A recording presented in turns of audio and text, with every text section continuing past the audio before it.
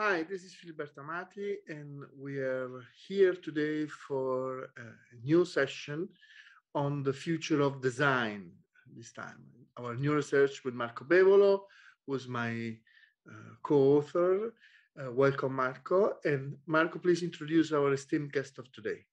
Thank you very much. Uh, we are indeed uh, uh, starting uh, a new series of interviews to Uh, a number of uh, thought leaders and senior industry experts uh, worldwide. This time we are focusing on design thinking, uh, and indeed we start from design because if there is design thinking there must be design uh, somewhere uh, our guest today is eric quint Eh, eric eh, is eh, a design leader who operated since the 1990s in various positions divisions and with a growing task uh, uh, portfolio uh, with responsibilities that he expressed all over the world.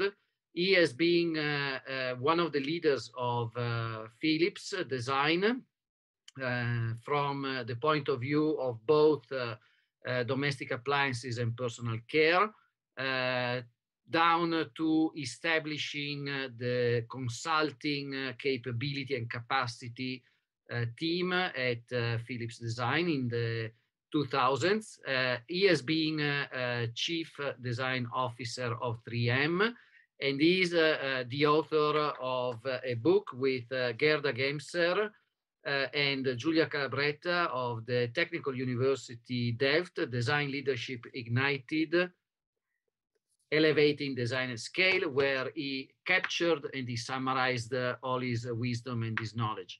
I would like uh, to uh, ask uh, Eric to introduce himself with the first question. That is actually based on your experience, how would you define design uh, in first place and design thinking, and how do you see yourself in the, the context of design? Yeah, thanks for the question and thanks for having me in the in the interview. Um, it's always interesting to talk about uh, the future of uh, design and design thinking. Um, well, if you would ask me what uh, design is about, I would uh, define design uh, as creativity applied with um, a purpose and with empathy. Uh, and that's for me the shortest definition of design. And I think um, it's very nice to see that uh, design thinking as a kind of a mindset and a creative uh, problem solving approach is used across many different organizations and many different functions. But um, there is a risk uh, to that as well, is that uh, the terms design thinking and design are really mixed up. Uh, you know, um, I very often say that um, everybody should be able uh, and prefer to participate in a design think thinking exercise but that does not make uh, everybody a designer. Yes. And I think we, we need to distinguish uh, the art craftsmanship of, of design uh, versus the, the methods and tools and approaches that designers are using to uh, mainly, uh, uh, I, I, would say, identify problems and solve problems. Because design thinking for me is in the in the area of problem definition as well as problem solving. Um, there's a nice uh, summary that I gave on design thinking where uh, there's a few keyword words that are very important, but it is a, a, a creative problem solving uh, approach where uh, you work in multidisciplinary teams, use creativity to, uh, to help you to uh, set the problem definition as well as the problem solving. but you do it based on insights and you use it for complex problems. And there's a few words in there that are very important. Multidisciplinary. You, are not doing it from within one discipline. Uh, uh, it is um, complex, high complex problems, because uh, that's where the multidisciplinary and the design thinking and creativity is needed to come up with uh, solid solutions. So um, yes, and of course, they, uh, we all know the walls full of post-it notes that uh, are used to capture the ideas that uh, you have in, in, in uh, creative sessions and design thinking exercises that, that then are used to, um, to um, say, organize your thoughts and prioritize the scenarios that could lead to, to good solutions. Well, thank you very much. Um, I uh, will come back uh, uh, to the, the, the, evolution of uh, design thinking uh, uh, and design itself from a point of view of strategic impact. But I would like to give the ball to Filiberto and ask Filiberto to, to shape one or two questions about a very hot topic uh, that is uh, the impact of uh, digitalization on design and especially the impact of uh, digitalization uh, on design thinking. So uh, we have seen examples of artificial intelligence doing poetry already a few years ago. Google is experimenting with artificial intelligence doing sort of uh, visual arts. Filiberto, would you like to uh, to share with uh, with Eric your view on digitalization and bringing one or two questions about digitalization and design? Thank you very much, Marco. yes, indeed, I think that uh, you know it's interesting how uh, we can use now algorithms and expose them to uh, various disciplines in arts, from poetry to writing to drawing to designing to composing music, and uh, you know perfect actually uh, uh, the the automatization of composing music and art and design and so on and so forth.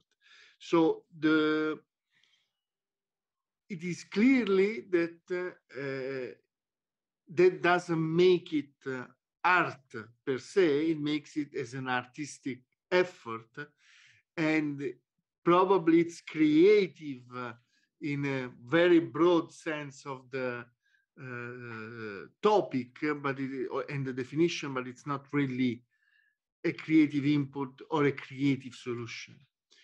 But it opens though, the door to how this uh, uh, autonomization is uh, impacting in particular one of the central dimension that you pointed out in your definition which is empathy.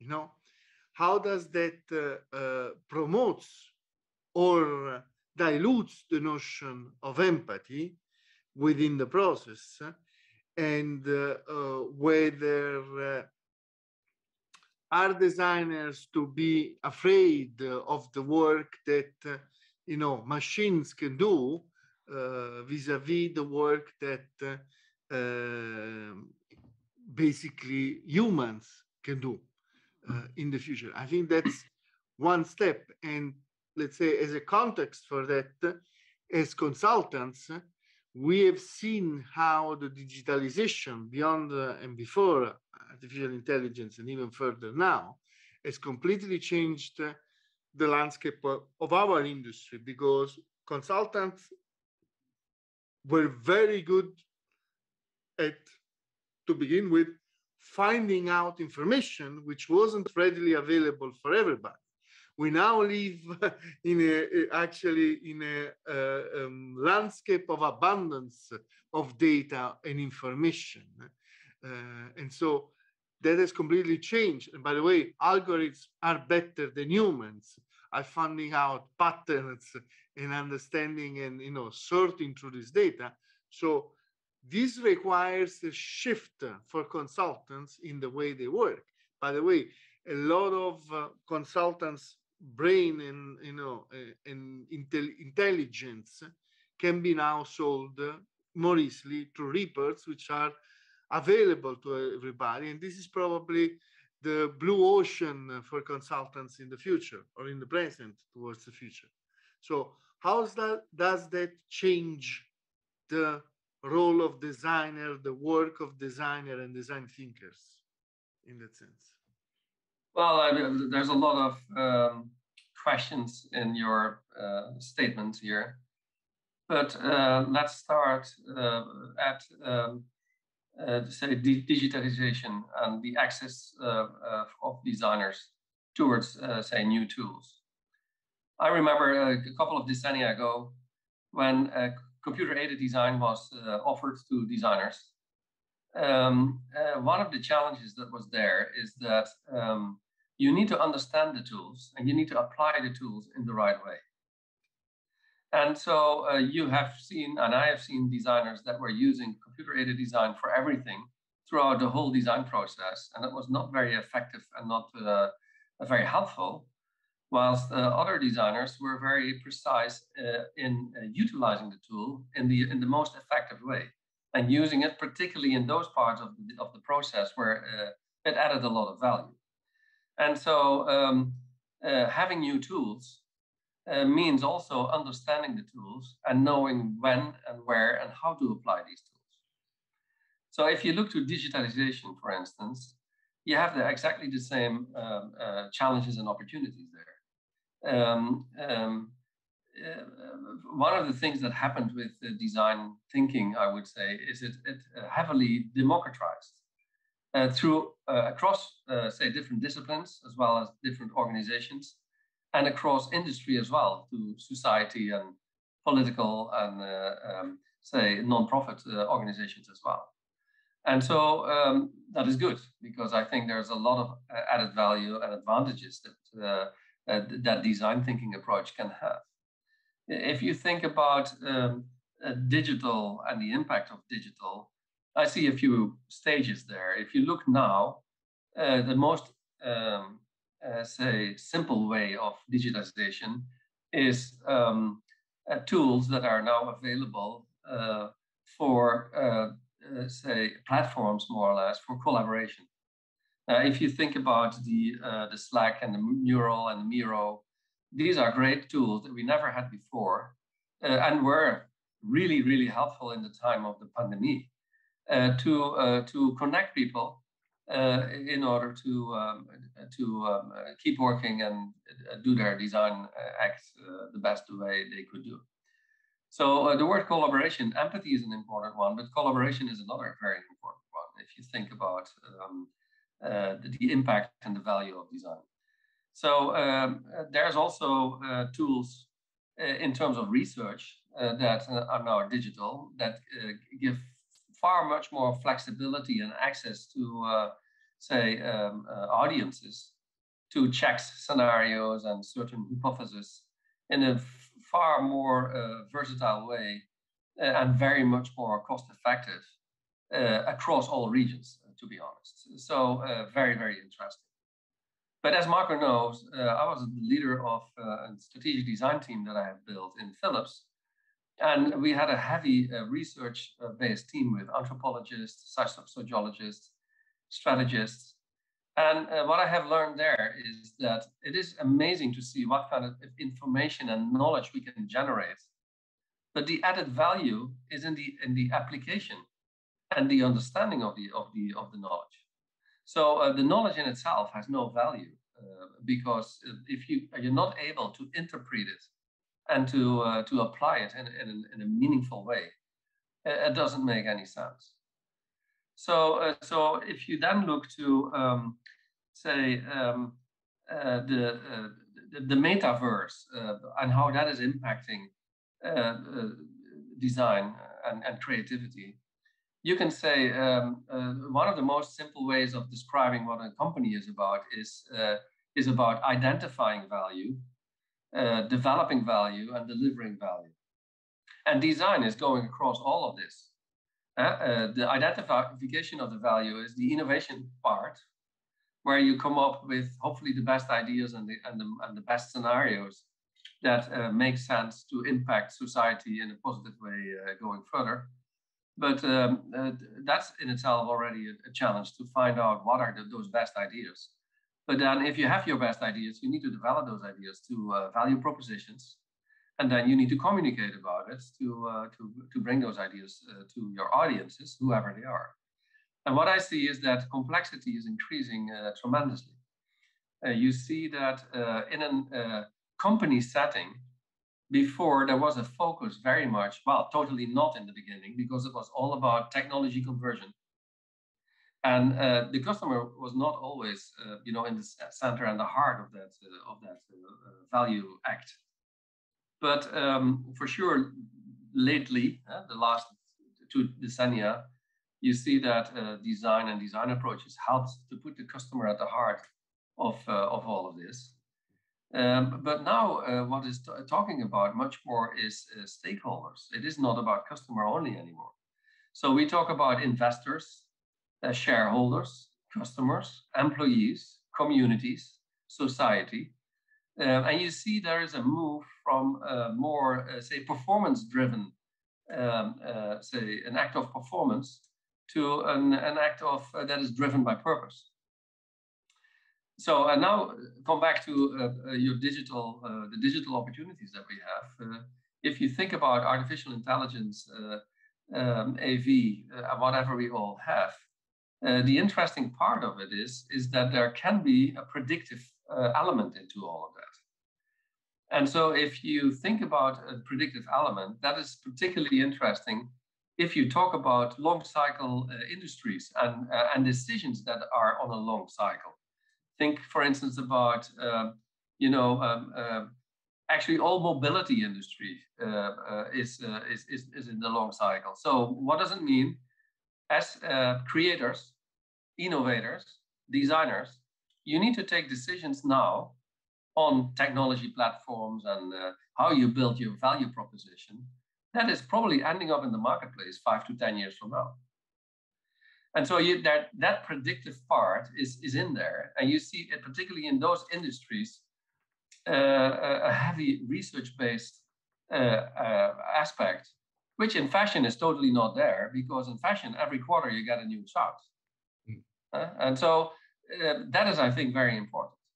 Well, if you now think about society and the challenges we have as society, uh, and you think, for instance, about urban planning then uh, you know the, the, the, scope of urban planning is even more out 20 years 25 30 years so how as developers are we able to uh, design uh, aspects into the value proposition now that we uh, that we know uh, or suspect that are uh, interesting for our audiences in 20 to 25 years from now mm-hmm.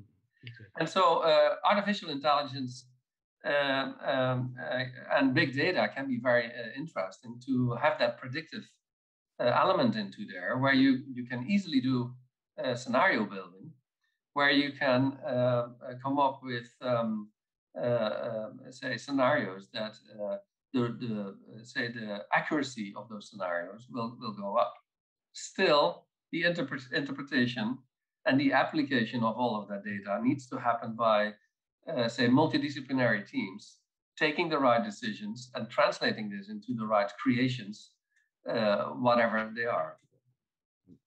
Thank you very much. Uh, follow up on uh, on the notion you introduced of the democratization of design thinking. Isn't there a risk? Because now, by the way, uh, I did business school. I'm not a designer, but you actually get taught design thinking in business school.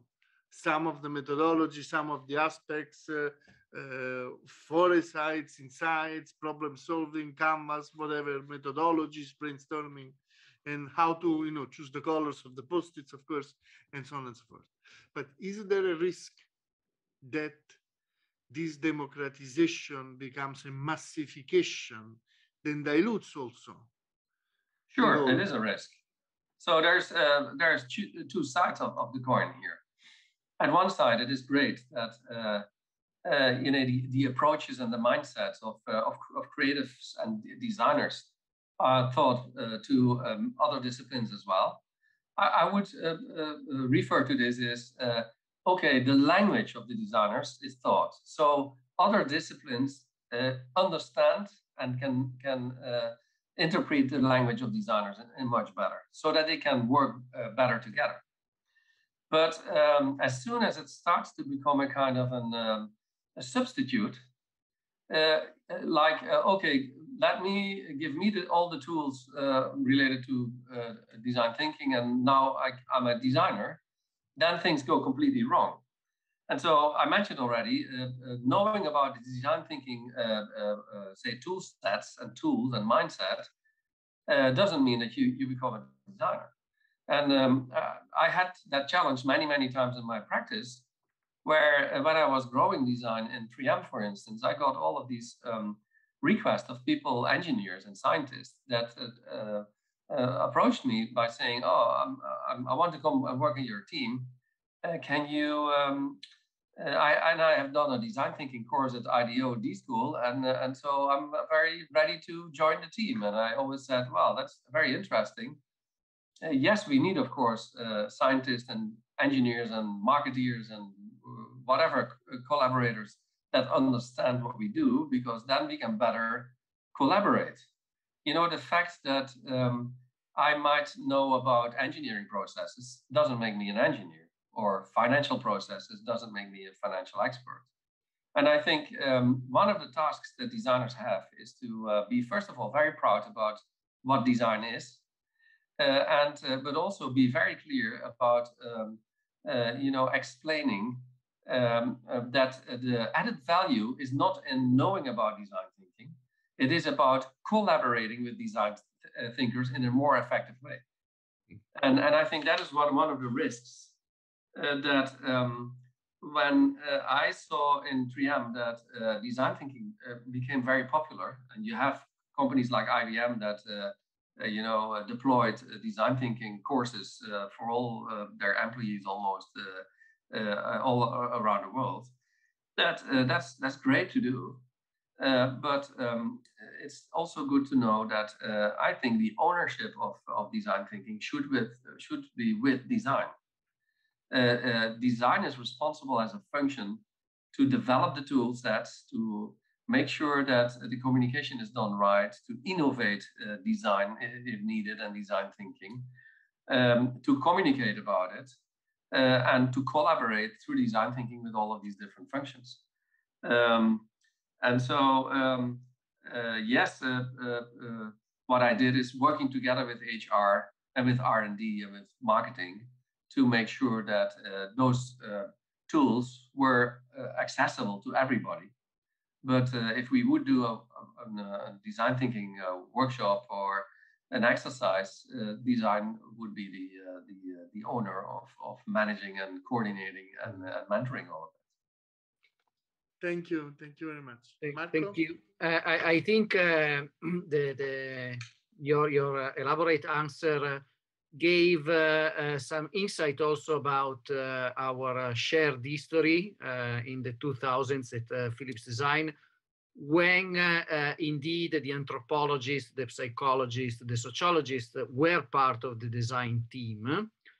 Uh, of which I always have to explain that in spite I, I, am an Italian, I'm not a designer, but I'm a sociologist uh, and I don't study the society of today, but the society in five or 10 years, which makes my life very complicated. But you uh, understood immediately the first time we met in 1998 uh, uh, what was the, the, the, scope of my uh, uh, specialization and how the specialization could fit in a design team like uh, the one we um, we belonged those days and those years. Uh, looking uh, at your book, uh, um, you structure the book, uh, and this is the table of content that I bring into light, uh, into three steps establishing the design foundation, empowering the design team, elevating to design excellence. So, foundation, empowerment, excellence. I think um, this will be probably interpreted by most people who uh, read and use the book to, uh, to lecture and to teach as a roadmap. Uh, I also see a potential future progression for the design function within a company from foundation to empowerment to excellence.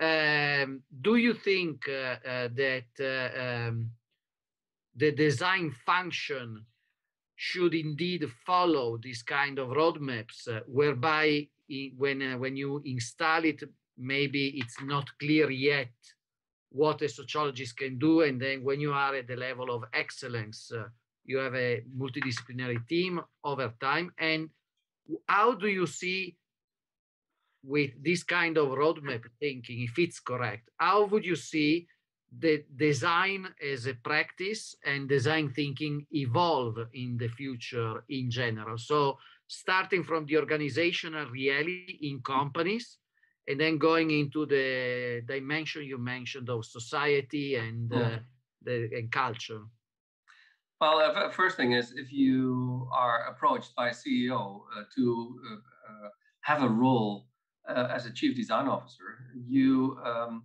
the task is pretty simple. You can summarize that in one sentence. It's something like can you help us to build a creative and design platform global platform uh, that um, and build the uh, the um, the um, uh, capabilities around this to advance, say, innovation and enhance the brand for the company. Uh, so that's one sentence, and then you start to think, okay, what does it mean? And um, um, you know, everything has a has timing. Uh, we know in innovation, timing is very important. Uh, uh, because you can have the most uh, marvelous ideas and you can have a view of the most advanced design function. But if the enabling conditions and the capabilities are not there in the company, you, you go nowhere.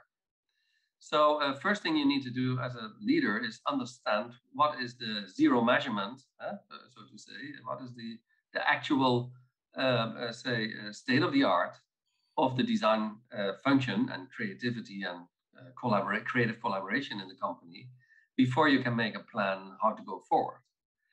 Uh, making a roadmap is extremely important. Um, uh, one of the things we learned from the research, uh, so we, for the book, we researched uh, 59 uh, design leaders all around the world.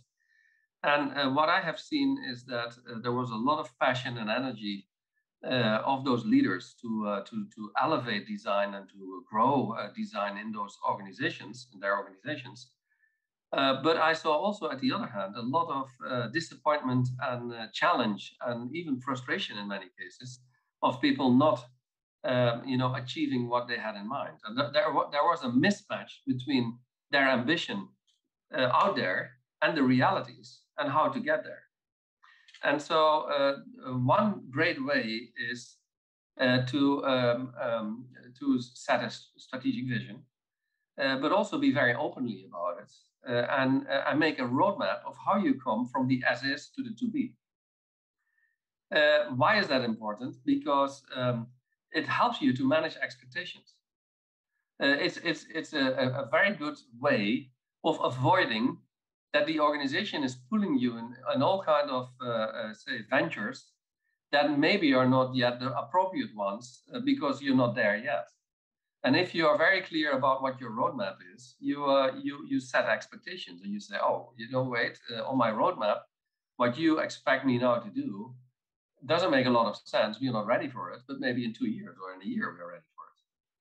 So that's one of the things. Um, and uh, the thing that was missing most in those interviews that we found out was what, what I call a design governance. And so the design governance is a kind of an aligned uh, document where you agree uh, an endorsed document and communicated document where you have put down, say, the starting points for the engagement of design with all of the organization. So that means that um, in the um, in the uh, uh, document, uh, you you have defined and agreed about uh, how is design sponsored in terms of budgeting, uh, who is managing the designers, um, what is the location of the designers if you if you talk about uh, you know uh, in one design studio or scattered around the businesses. Uh, it's about the rules of engagement of uh, of uh, where's where's and how is the design team enabled, and of course the scope of design. You know, are you only tactical? Are you also in strategic? Are you mainly focusing on the innovation part, or also in brand. Uh, you know, uh, what is the scope? Uh, and what I have seen is that, uh, and I refer very often to this, is that uh, if you don't uh, have that groundwork and the, and the framework defined of what that function is going to be, uh, you run the risk that if you start to elevate design and grow design, that you uh, you ask for trouble. You are going to scale trouble, mm. and that happens a lot. And so it is very nice to have uh, all of these visionary ideas of what the function could be. Uh, I mean, very often uh, related to design excellence. But um, you can be very sophisticated, but if the foundation is not there, then uh, you are not uh, probably very successful in scaling at all. Uh, so the methodology that we say talk about in the book is indeed setting that foundation, and then you have to, of course, empower the team uh, uh, later on in growing. So by setting the foundation, you have, of course, the um, the elements of uh, you know what is design leadership about, what is design about, what is your vision and mission, uh, and then you go into uh, the, the next steps of the model where you talk about um, elements that uh, that are components to go from the foundational elements to the um, the empowerment of the team and the growing of the team to in the end driving that design excellence. Well, you should realize that that is not an, uh, an overnight act. Uh, that can easily take uh, uh, 10 years. Uh, I have given myself five years at 3M to do this. And, uh, you know, just because of the complexity, because you talk about organizations that are in, in, uh, in um, you know, 80 countries. They have, you talk about uh, many different divisions and, and, and, and, businesses, 50 or 30. you talk about 100,000 people. And, and so that means that that is hugely complex and therefore it is a transformation process. So it is not adding design to an organization is not about adding the capability somewhere. It is actually how the company works because you have to integrate it into processes. And so, therefore, in the steps, uh, we talk about uh, in order to um, establish that foundation very well, uh, you need to make sure that you have a clear design direction. So, that's the design roadmap and the strategy and the vision going forward. Uh, then you need to build a kind of a design organization where that governance comes in as well uh, because you need to have an alignment with all of the stakeholders in the company to do so. And then if you go to empowering the team, you need to have a design taxonomy available to make sure that you um, you have described the scope of design, but also you have uh, described the career path of the people in design so that they know what their future is and how they can grow and learn, uh, as well as uh, how you build design resources. And you need to innovate what new resources do I need, for instance, in the, the digitalization, uh, to make sure that we are we are uh, ready to go for uh, elevating design to that excellence level. It's there where you start to scale, and uh, where you you um, you hope to bring that uh, that vision alive, where you you build that design excellence. And and what is now the um, the, um, the, the, the, the learning of the book is that uh, that design excellence is never reached because uh, you're always on, an, on a journey that has a moving target uh, where uh, the dynamics in society and in companies is changing. That means that design need to be very uh, versatile uh, and say adaptive to to new situations, and that means that you you you excellence is an act of continuous reinvention uh, that that keeps you uh, you know in uh, in the Premier League of of, of acting design. May I? I think this is very insightful. two follow-ups intertwined. So in terms of design leadership,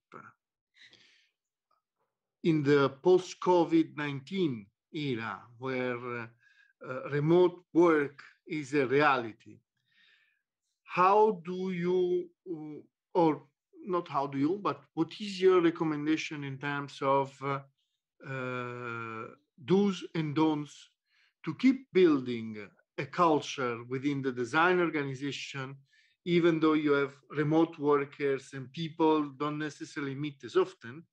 And related to that, uh, based on what you just commented, is the role, uh, because I see the role of creativity to you know reshape the boundaries. So is the role of the design organization to make transform the companies to become more inclusive, more sustainable, and how so? Yeah, so uh, if you think about um, that that future role of design, then uh, I think complexity is getting more. Uh, of course, um, uh, it's not good enough anymore to put the customer in the center of, uh, of all of this. I think we need to put society in the center of all of this. Uh, and so, if, if that is the case, then the complexity is getting up. And so, the need for design across all of the main processes of a company and the need for creativity and collaboration is extremely important. And, uh, and so, if you think about um, the Sustainable Development Goals, you know, they are all uh, of, a, of, of systematic, uh, systemic uh, uh, complexity. And so that means you, you, you need to uh, go already into a strategic approach, not a tactical approach, to, to go and, and work on these. But even more important, you cannot solve these kind of challenges anymore from within one organization. So uh, if you think about water or air or education or health or mobility, these are all these big themes. Um, you need to work together across the boundaries of organizations, uh, industries, policymakers, uh, governments, uh, educational institu institutes, and academic institutes to make sure that you come up with, uh, with uh, say, scenarios and solutions that, that go beyond uh, you know, maximizing the shareholders' value within one organization. Uh, so there is a role for design to play. Why? Because I think uh, besides the empathy that uh, designers can bring in, but can other people can do that as well, uh, is um, the creativity and particularly the imagination. I think that is ext extremely important. So what I have seen in many with many business leaders they know exactly how to run a business. They know how to define their KPIs. They know how to fire up uh, uh, uh an, an, organization in the, in the good way uh, of uh, putting, say, the people behind the strategy and the vision. But in the end, um, you need to lead organizations to what that preferable future is. And so, imagination is important to have, but also how to make that the imaginary uh, uh, say strategies uh, tangible is something where designers come in very often. so in the book we describe about that future role of designers, and um, what we see is a kind of an equilibrium uh, where the designer or design leaders are in the center one way or another. And uh, we have to deal at one side uh, about um, uh, the emerging technologies and how to incorporate those into our act of design and design thinking going forward. Uh, but we need to also inspire culture, where you are an, a cultural leader to, cr to create a creative culture within an organization and even beyond your own design team. You are um, uh, leading and, and, uh, and uh, say engaging in uh, advancing collaborations, like I mentioned already, far beyond the collaborations within your own team, uh, within your own organization. It is, you know, across organizations and uh, across different types of organizations. Um, and then, of course, there is that design for equity that uh, you want to make sure that um, whatever solutions you, you come up with and engage into is uh, accessible to anybody, hopefully, uh, in the world. And so, how are you going to deal with that? Because we know the disparity between you know, uh, accessibility of health and um, uh, access to health and energy and clean water and all of that is, is, is becoming bitter, uh, uh, bigger and is not going to help us to uh, solve the issues that we have and that are mentioned in the, um, in, the in the goals, in the United uh, Development Goals. and then, of course, this is all about sustainable innovation which is uh, impacting the planet, uh, uh, where you know designers play a role. Now, uh, to come back on your question on you know the post-COVID and how is that going to happen? In my previous role, I was chief brand and design officer of the company. Why? Because um, my act was not only focusing on uh, the technology conversion, uh, say the innovation process, but also very much on, and that was the identification of value, but also on the development and the delivery of the value. So the delivery of the value is very much a marketing and a branding act. And I always say, uh, you know, the most exciting brands, they don't happen and they, not, they don't exist by coincidence. They are carefully curated and designed. And so, uh, if you think about an, um, a world where we live in now, where everybody is working from home, uh, there is a kind of a dualism uh, that we describe many more in the book. Uh, uh, dualisms that design leaders have to navigate is the dualism of, uh, you know, having a fully remote team at one side and having a, a, a, a, few, a full on-site team that you can work with and have dialogues with and uh, start to uh, shape, uh, you know, um, ideas for the future.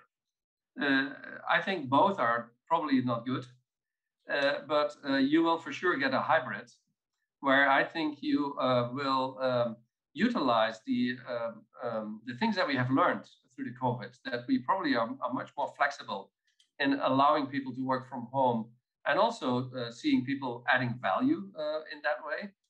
Uh, but at the other hand, you need to also be together, uh, particularly when it comes down to different disciplines and across uh, people across different organizations, to um, to build relationships uh, that are going to help to um, to create those you know answers on the bigger complex questions and challenges that we have in the world. So so yeah, that's probably my answer. Thank you. Thank you. Thank you. Well, as a last question, I would like to go at the very first page of the book. Uh, and it's a bit of an intellectual question, maybe, but uh, uh, I'm curious. Uh, the answer is printed, but I'm curious to hear it from you. Um, in, in, Italian design, especially, the role of the book by the designer is really uh, crucial. Uh, Andrea Branzi has, has published a lot of uh, a lot of books. Um, uh, you have books by uh, by Rota on on his creative process, important books by Sottsass, and so on. You chose to publish the book uh, with uh, two co-authors uh, who are academics, and actually the the preface of the book is why this book with these authors. That is quite for me insightful.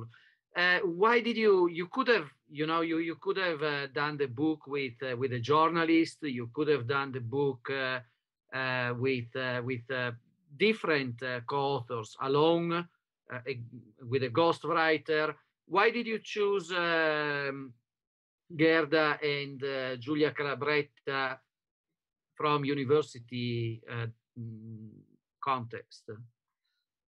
Well um,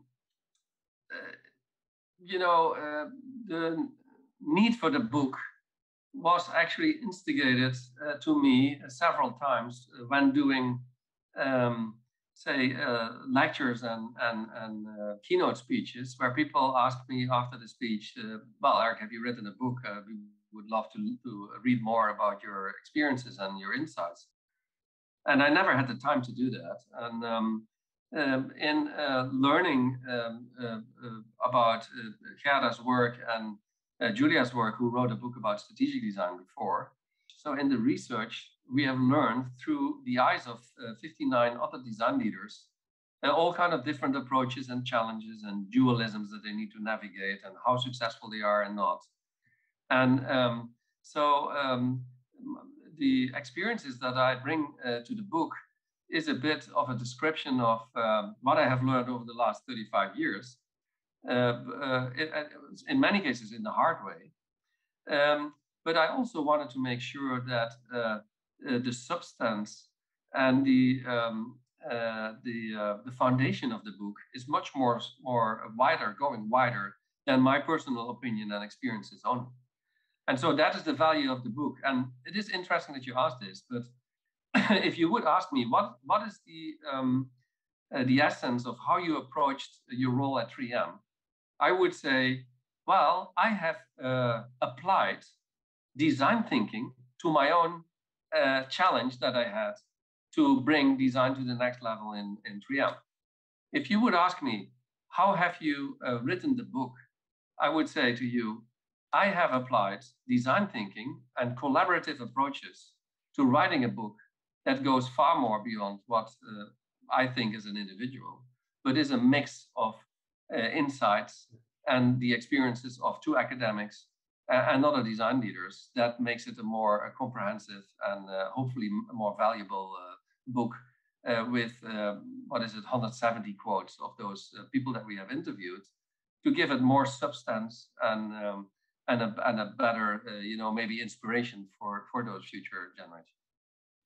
Thank you so much. I think our this dialogue is coming to to its closure. Our dialogue is uh, going to continue for another uh, we know each other for 23 years, so I would suggest uh, 23 years ahead.